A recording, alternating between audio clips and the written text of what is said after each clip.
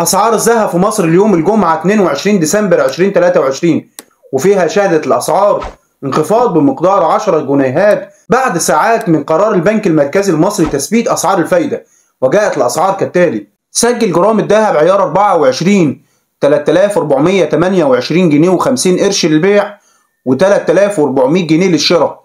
وسجل جرام الذهب عيار 22 3142 جنيه و75 قرش للبيع و3116 جنيه و75 قرش للشراء وسجل جرام الذهب عيار 21 3000 جنيه للبيع و2975 جنيه للشراء وسجل جرام الذهب عيار 18 2571 جنيه و50 قرش للبيع و2550 جنيه للشراء وسجل جرام الذهب عيار 14 2000 جنيه للبيع و1983 جنيه و25 قرش للشراء. وسجل الجنيه الذهب وزن 8 جرام 24000 جنيه للبيع و23800 جنيه للشراء. ما ننساش إن الأسعار ديت بدون المصنعية وناخد بالنا وإحنا رايحين نشتري أو رايحين نبيع إننا ناخد فاتورة شراء مدون فيها كل بيانات الحاجات اللي إحنا اشتريناها ونشتري من محل مضمون وموثوق وناخد فاتورة شراء. يفضل إننا نبتعد عن أوقات التذبذب في البيع أو الشراء علشان ما نخسرش كتير.